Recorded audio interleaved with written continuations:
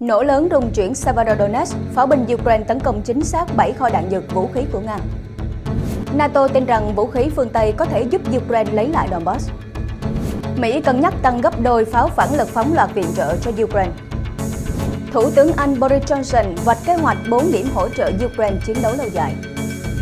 Đó là những tin chính trong ngày hôm nay. Bích Trâm kính chào quý vị. Rất vui được gặp lại quý vị trong bản tin quân sự trên kênh Thời báo Sự thật. Và sau đây là phần tin chi tiết.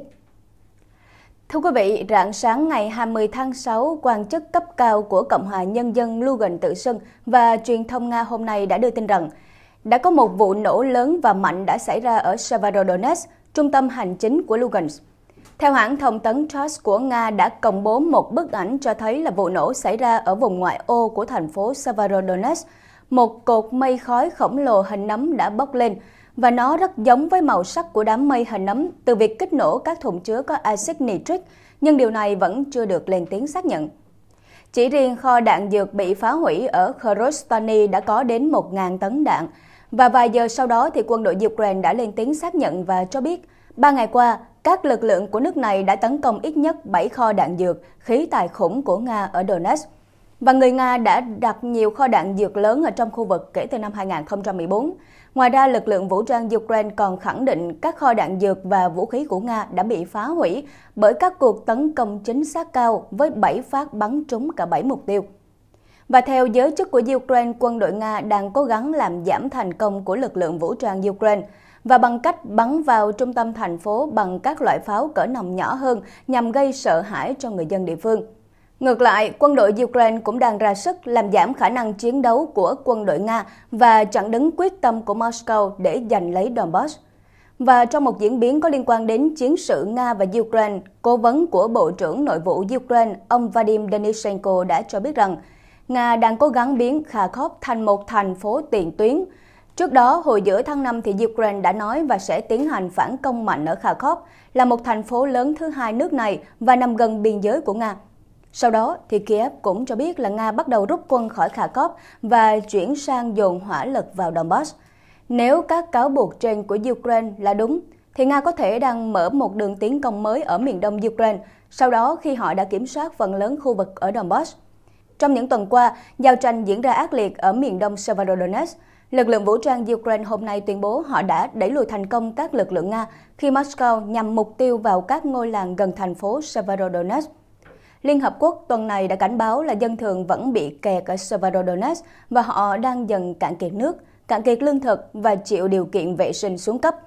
Theo phía của Ukraine, họ đã đẩy lùi được Nga ở Toskivka, khiến lực lượng Moscow rút lui và đang tập hợp lại. Ngoài ra, Kiev cũng đã tuyên bố ngăn chặn Nga nhằm mục tiêu vào làng Orekov. Nga hiện đã kiểm soát phần lớn Severodonetsk nhờ ưu thế áp đảo về vũ khí và hỏa lực so với Ukraine.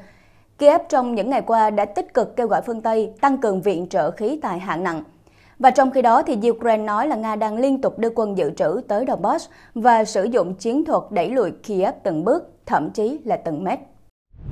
NATO tin rằng vũ khí phương Tây có thể giúp Ukraine lấy lại Donbass. Thưa quý vị, Tổng thư ký NATO đã cảnh báo xung đột giữa Nga và Ukraine có thể kéo dài nhiều năm và phương Tây sẽ tiếp tục viện trợ cho đến khi nào Kiev đẩy lùi lực lượng của Moscow ở Donbass thì thôi. Trả lời phỏng vấn báo Pew của Đức hôm 18 tháng 6, Tổng thư ký NATO Jens Stoltenberg lại một lần nữa cảnh báo là chúng ta đang phải chuẩn bị cho thực tế là có thể mất nhiều năm để kết thúc cuộc xung đột. Chúng ta không được từ bỏ việc hỗ trợ Ukraine và ngay cả khi chi phí cao không chỉ vì hỗ trợ quân sự, còn vì giá năng lượng và lương thực tăng. Ông Stoltenberg đã cho biết Liên minh quân sự do Mỹ dẫn dắt sẽ tiếp tục viện trợ quân sự cho Ukraine, thậm chí là nhiều năm nếu như cần thiết, nhằm giúp Kiev đẩy lùi lực lượng của Nga khỏi Donbass. Người đứng đầu NATO đã hy vọng rằng những vũ khí hiện tại do phương Tây viện trợ sẽ giúp tăng khả năng giành chiến thắng của Ukraine. Tuy nhiên, thì ông Stoltenberg cũng đã nhấn mạnh rằng NATO sẽ không điều quân đến Ukraine mà chỉ tập trung vào nỗ lực tăng cường năng lực phòng vệ của Kiev.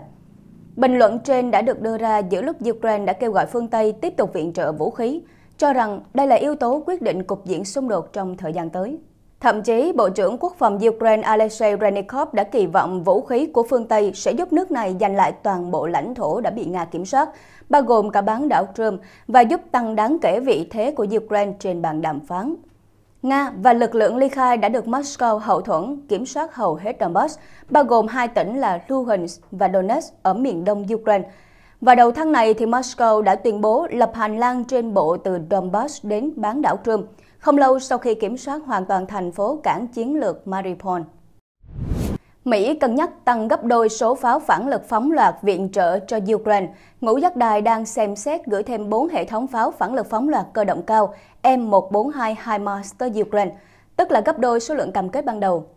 Trước đó, thì hồi tháng 6, Mỹ thông báo là sẽ gửi 4 hệ thống HIMARS tới Kiev và mỗi hệ thống có thể bắn cùng lúc 6 tên lửa từ bệ phóng gắn trên xe tải.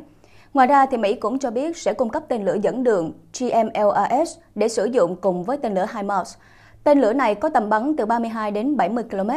Không chỉ có tính năng phóng cùng lúc 6 tên lửa mà HIMARS còn có khả năng bắn một tên lửa dẫn đường duy nhất với tầm bắn lên tới 300 km. Nhưng Mỹ vẫn chưa cung cấp cho Ukraine loại đạn này. Và mới đây thì các quan chức của ngũ giác đài giấu tên đã tiết lộ với Politico rằng Bộ Quốc phòng Mỹ đang xem xét gửi thêm 4 hệ thống HIMARS đến Ukraine như là một phần trong gói viện trợ sắp tới của Washington. Vào ngày 15 tháng 6, Tổng thống Mỹ Joe Biden đã công bố gói hỗ trợ an ninh trị giá 1 tỷ đô la dành cho Kiev, trong đó bao gồm các loại pháo và vũ khí phòng thủ bờ biển, cũng như đầu đạn cho pháo và các hệ thống tên lửa tiên tiến mà Ukraine cần để hỗ trợ hoạt động phòng thủ. Gói 1 tỷ đô la được Tổng thống Joe Biden công bố chưa đầy một tháng sau khi ông ký dự luật chi 40 tỷ đô la để tài trợ cho nền kinh tế và quân sự của Ukraine. Dự kiến thì bốn hệ thống HIMARS đầu tiên do Mỹ cung cấp sẽ được chuyển đến Kiev vào cuối tháng này sau khi các đơn vị Ukraine hoàn tất quá trình huấn luyện sử dụng. Chủ tịch Hội đồng Tham mưu trưởng Liên quân Mỹ Mark Milley đã cho biết. Ngoài Mỹ, Anh đã cung cấp cho Ukraine ba hệ thống pháo phản lực phóng loạt M270 MLRS do Mỹ sản xuất, tương tự như HIMARS. Và Đức cũng đã thông báo trong tuần này sẽ gửi 3 hệ thống M270 cho Kiev, giảm so với lời hứa ban đầu là 4 hệ thống do thiếu đầu đạn. Mikhail Podolyak là phụ tá của Tổng thống Ukraine hồi đầu tuần này đã công bố số vũ khí mà Ukraine cần để giành chiến thắng trước Nga, bao gồm 1.000 khẩu pháo 155mm, gần gấp 10 lần số lượng pháo mà Mỹ đã viện trợ đến thời điểm hiện tại. 500 xe tăng, 300 pháo phản lực phóng loạt MLRS. Giả sử ông Bodoliak đang đề cập đến hệ thống M270 MLRS, thì con số mà ông yêu cầu chiếm gần 25% tổng số MLRS trên toàn thế giới. Và việc pháo binh Nga tấn công các vị trí của Ukraine ở Donbass khiến Ukraine mất tới 1.000 binh sĩ mỗi ngày. Và tại Washington đã bắt đầu xuất hiện quan điểm trái chiều về cách kết thúc cuộc xung đột. CNN gần đây đã đưa tin là các quan chức Mỹ và châu Âu đang thúc đẩy Ukraine về thỏa thuận hòa bình với Nga.